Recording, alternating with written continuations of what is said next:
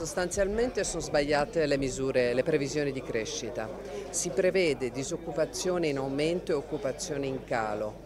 Eh, si quantifica l'impatto delle vecchie misure presenti in legge di bilancio e anche delle nuove, penso al decreto crescita, allo sblocca cantieri veramente minimali, ma si persiste nell'errore perché di fatto non si introducono nessuna misura prociclica, per esempio le cose che chiediamo oggi insieme a Cisle Will, cioè investimenti pubblici, nuove politiche industriali che possano far ripartire il Paese.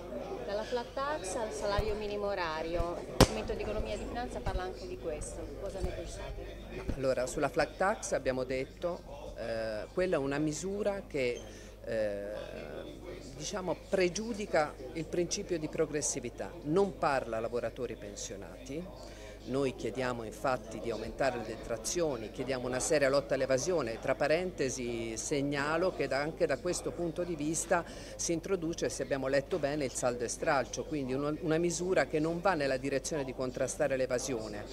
Eh, sul salario minimo orario c'è una discussione in corso, abbiamo detto, per quanto ci riguarda il salario minimo orario è quello definito nei contratti collettivi nazionali, si deve ripartire da lì, chiediamo anche una legge sulla rappresentanza proprio perché pensiamo che quelli siano i parametri di riferimento che possano tutelare i lavoratori. Okay?